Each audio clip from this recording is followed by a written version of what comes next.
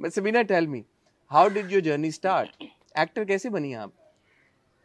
अच्छा ये जर्नी का सवाल ओके हसन नहीं जर्नी का नहीं पूछना था हम्म। सवाल नहीं नहीं मैं इसलिए वो हो गई हूँ क्योंकि बहुत लंबी जर्नी है I think it would just be एक ज्यादती होगी कि अगर मैं उस जर्नी को शॉर्ट करके बताऊँ क्योंकि उसके अंदर बहुत सारी चीज़ें हैं और वो बहुत सारी चीज़ें एक घंटे के इंटरव्यू में हो नहीं सकती।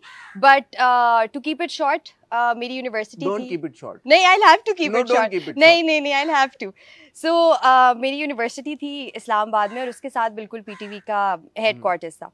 तो वहाँ पे मैंने ऐसे बाय चांस वो आए हुए थे थिएटर कुछ देखने हमारी यूनिवर्सिटी में कुछ प्रोड्यूसर्स और उन्होंने मेरे सीनियर्स ने कहा यू शुड एक्ट तो मैंने कहा ऐसे नहीं हो सकता दूर दूर तक खानदान में कोई नहीं और इजाज़त भी नहीं मिलेगी। लेकिन मैंने वैसे ही उन्होंने कहा कि आप आके ऑडिशन दे दें।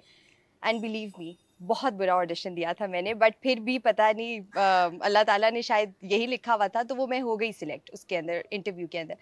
And that's how I landed that first acting का project yes What what was that? जनान it was no no no no it wasn't जानान लोगों को लगता है कि जानान पहला था बट उससे पहले मैंने एक प्रोजेक्ट किया था धनक फॉर पीटीवी नोमान एजाज के साथ। अच्छा अच्छा अच्छा अच्छा। तारिक मिराज उसके डायरेक्टर थे। अरे माशाल्लाह वो तो बहुत हम्म। बड़ा नाम है.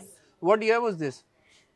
uh, 2017 17 17 17 तो ये जब आपको दोस्तों ने कहा यार एक्टिंग कर लो। सीनियर्स ने। सीनियर्स ने कहा। तो सीनियर्स को कैसे पता लगा कि ये लड़की में टैलेंट है? जो जो बैचमेट थे उन्होंने क्यों नहीं कहा कि एक्टिंग कर लो? पता नहीं लेकिन सीनियर्स ये होता है ना उनको पता चल जाता है वो जूनियर्स पे नज़र हाँ। रखते हैं। और मेरा ये था मैं हमेशा से काफ़ी एनर्जेटिक सी थी हाँ। यूनिवर्सिटी के अंदर भी ऑलवेज स्माइलिंग और दैट तो वो उनको लगा कि you know she has the spark so are you really like Pakhtun no I am not you not how did you do Suno Chanda to then मामा पठान है तो वो हाफ़ पख्तून ना। ये बहुत बड़ा सवाल था लोगों का बहुत बड़ा सवाल था जिसका जवाब आज उन्हें खैर मिल जाएगा सिर्फ़ हाँ। मामा पठान है। तो हाफ़ पठान तो हो गई हाफ़ पठान नॉट एंटायरली आपने कहा पूरा पख्तून तो नॉट पूरा तो half half Pathan hmm, half Pathan Pathan, half half the other half is what Punjabi. The other half Punjabi. ये बात। Deadly combination deadly combination half Pathan half Punjabi. combination. ओए होए होए होए so tell me while growing up did you want to act no उससे पहले तक ये कोई था? नो कभी कभी नहीं सोचा था? कभी भी नहीं सोचा था।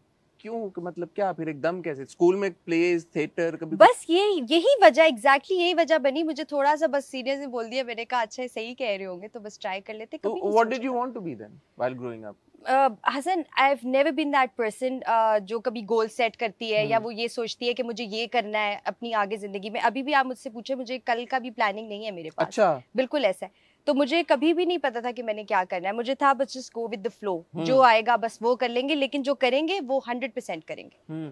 मुझे बताएँ for a young aspiring actor when they venture into this industry and we hear के यार के मौके नहीं मिलते। हम्म। यंग लड़के लड़कियों को तो पता ही नहीं होता कि भाई ये क्योंकि ऑडिशंस का तो कॉन्सेप्ट ही नहीं है यहाँ पे तो। बड़े सिलेक्ट किस्म के लोगों के साथ ही काम किया जाता है। बार बार उन्हीं को देखा जाता है टीवी स्क्रीन के ऊपर भी।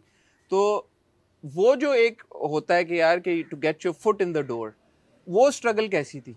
मुश्किल काफ़ी मुश्किल थी। अभी भी देख ले मैं स्ट्रगल ही कर रही हूँ।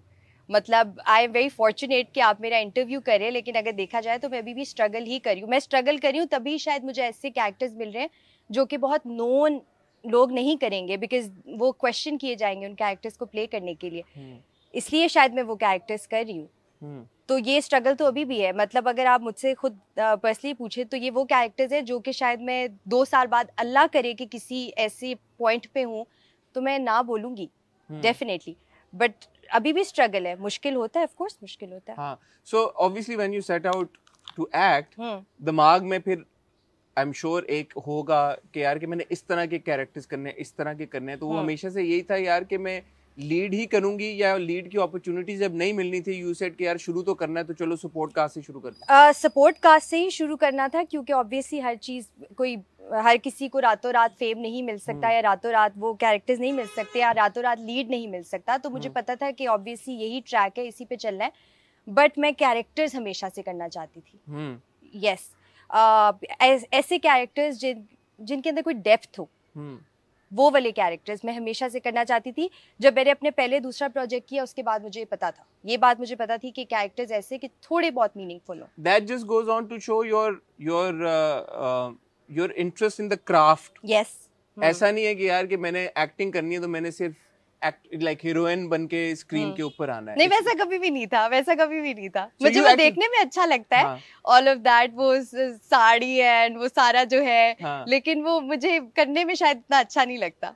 So tell me, uh, is it wrong to assume कि सुनो चंदा टू के बाद एक्चुअली वो जो एक होती है recognition वो मिली? नहीं। हाँ। नहीं मिली। नहीं मिली सुनो चंदा सुनो चंदा टू के बाद तो मिल गई क्यों नहीं? नहीं नहीं लोग वैसे मुझे बहुत ज़्यादा बोलते हैं मैना मैना मतलब हाँ। उनको मेरे असल नाम से ज़्यादा मैना पता है बट उसके बाद भी I had to struggle I had to struggle a lot yes roles नहीं आ रहे थे? नहीं। और अगर आ रहे थे तो एक ही तरह के आ रहे हसन अभी भी नहीं आते। आपको नहीं आपको आते? ऐसा लग रहा होगा कि जैसे पता नहीं बहुत तो काम मैं तो I am surprised having this conversation with you because uh माशाल्लाह यू सो प्रिटी बी माशाल्लाह यू सो टैलेंटेड एंड ये अभी की बात नहीं है कि तेरे बिन में देख के आपको हम्म। बंदा ये बात बोले मैंने तो जब आपको सुनो चंदा टू में देखा था उसके बाद कश में आपका बड़ा हम्म। इंपॉर्टेंट एक कैरेक्टर था और उसके अलावा भी कश और सुनो चंदा के अलावा भी आई थिंक आपने एटलीस्ट तीन और तीन या चार और प्रोजेक्ट्स किए हैं तीन तीन तीन प्रोजेक्ट्स किए हैं तो I just it's it's very hard for me to believe कि जब लोग देखते हैं एक यंग एक्टर को जिसमें ये सारी क्वालिटीज हैं तो उसको फिर क्यों मौके नहीं मिल रहे? चले सारे प्रोड्यूसर सुन ले। टैलेंटेड प्रिटी और सब नहीं कुछ मेरे कहने से खुद नहीं देख रहे लोग। वो अब नहीं देख रहे होंगे ना अभी शायद देख लेंगे ये चीज़। हाँ तो you still you're saying that you're still struggling? Yes yes I am so how has the journey been from but I don't mind struggling अभी भी। अच्छा पता नहीं मेरे दिमाग में तो ऐसा लग रहा है कि माशाल्लाह क्योंकि मैंने तो जब जब आपको देखा परफॉर्म करते हुए आपने इतना अच्छा परफॉर्म किया है तो मुझे समझ नहीं आ रहा कि वो दैट लैक ऑफ़ अपॉर्चुनिटीज़ उसकी क्या वजह हो सकती है? ये मुझे भी नहीं समझ आएगा मुझे समझ आ जाए तो मुझे उसका जवाब मिल जाए and I start working but towards Sabina that tell me ये तो फिर बड़ा एक इसके लार्जर अनफॉर्चुनेट अनफॉर्चुनेट तो है बट एक लार्जर कॉन्वर्सेशन ये निकलती है कि फिर एक यंग एक्टर क्या करे आप वेट करें घर पे बैठ के यार कि हम्म। कोई हमें रोल दे दे बिल्कुल या आप खुद जाएँ प्रोडक्शन हाउसेज में मतलब अब तो आप इस स्टेज पे पहुँच गए कि माशाल्लाह आपने इतना काम कर लिया है तो हम्म। अब क्या वो भी अजीब लगता होगा कि आप लोग खुद तो नहीं काम नहीं खुद तो काम नहीं मांग सकते और ना ये क्यों नहीं उसमें क्या शर्म की क्या बात है? शर्म की बात नहीं है क्योंकि Hasan to be very honest अगर जब आप खुद काम मांगते हैं ना तो हमारे जो प्रोड्यूसर्स है तो वो आपको बड़ा फॉर ग्रांटेड लेते हैं हम्म। उसमें फिर आप उनसे क्रिएटिव चीज़ों पे बहस नहीं कर सकते हम्म। और चीज़ों पे जो कि हमें पता होती है कि ये चीज़ें इंपॉर्टेंट हैं उस पर वो फिर आपकी नहीं मानते हैं हम्म, क्योंकि काम वो कहते हैं आपने खुद मांगा है हम्म। तो हमने तो दे दिया काम अब आप हमारे मुताबिक काम करेंगे इन चार पाँच प्रोजेक्ट्स में बारिंग तेरे बिन उस पर भी आते हैं हम्म। आपको कोई ऐसा प्रोजेक्ट अपना महसूस हुआ परफॉर्मेंस ऐसी महसूस हुई जिसके बाद आपको लगा कि यार कि अब कुछ तब्दीली आई है प्रोड्यूसर्स के एटीट्यूड में या दरवाजे खुलना शुरू हुए हैं या एटलीस्ट खिड़कियाँ खुली हैं। ऐसा कोई प्रोजेक्ट था आपका? परफॉर्मेंस थी ऐसी कोई? नहीं सुनो चंदा वाला जो था क्योंकि वो एक कॉमिक रोल था हम्म, तो उससे एक्टिंग तो इतनी मेरा ख्याल है खास पता नहीं चली होगी कि इमोशनल कैरेक्टर्स कर सकती है नहीं तो इसलिए मैं उसको तो बिल्कुल साइड पे रख देती हूँ। हम्म। मोहल्लत मैंने एक ड्रामा हम्म। किया था जिसमें मैंने प्ले किया था रोल ब्रेन ट्यूमर की एक पेशेंट होती है हम्म। रिदा उस कैरेक्टर का नाम था तो उसके बाद मुझे काफ़ी रिकग्निशन मिला था हम्म, और लोगों ने बड़ा अप्रिशिएट किया था। इनफैक्ट मैं जब भी उसके बाद जिस भी सेट पर गई हूँ तो मुझे सबने उसी कैरेक्टर का नाम लेके बोला है कि सबीना वो बहुत अच्छा कैरेक्टर था।